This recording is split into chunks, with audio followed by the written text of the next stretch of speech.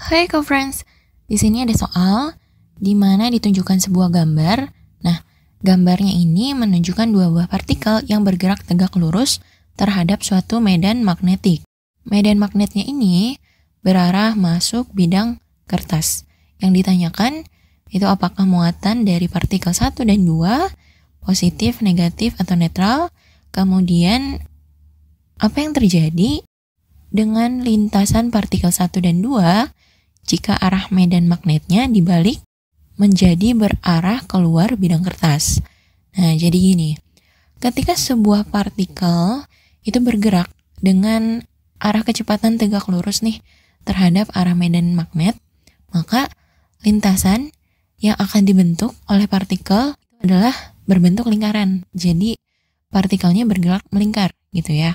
Nah, hal itu disebabkan karena ada gaya magnet yang menarik partikel ini untuk melakukan pembelokan. Jadi gaya magnetnya ini menarik gitu ya, menarik partikel untuk bergerak secara melingkar. Arah medan magnetnya ini selalu menuju pusat lingkarannya. Nah, uh, disebut juga gaya sentripetal gitu ya. Jika partikel yang bergerak itu bermuatan positif, maka akan membelok ke arah berlawanan jarum jam gitu.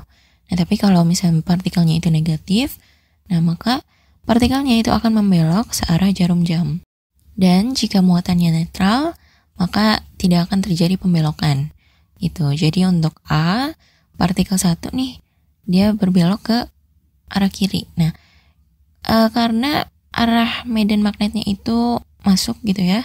Jika kita menggunakan kaidah tangan kanan, Nah, arah medan magnetnya, nah kita arahkan telunjuk kita, berarti kan masuk ke bidang kertas ya. Kemudian arah partikel, nah itu kita arahkan jempol kita uh, tegak lurus, berarti ke atas gitu ya. Nah, maka akan menghasilkan gaya magnetnya itu ke arah kiri ya.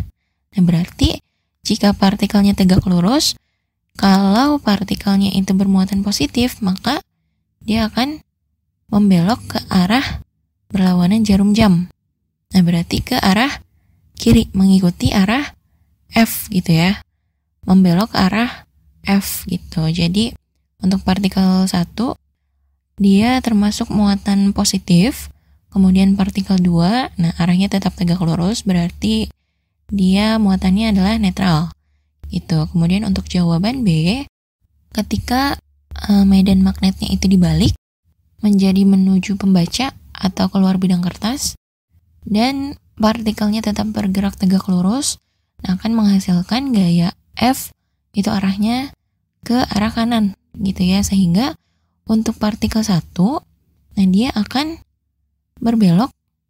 Nah karena kan berlawanan arah jarum jam ya atau mengikuti uh, arah F gitu ya berarti akan dibelokkan ke sebelah kanan gitu ya untuk partikel satu tapi untuk partikel 2, karena muatannya netral, maka tetap bergerak tegak lurus dengan medan magnet. Sampai jumpa di pertanyaan selanjutnya.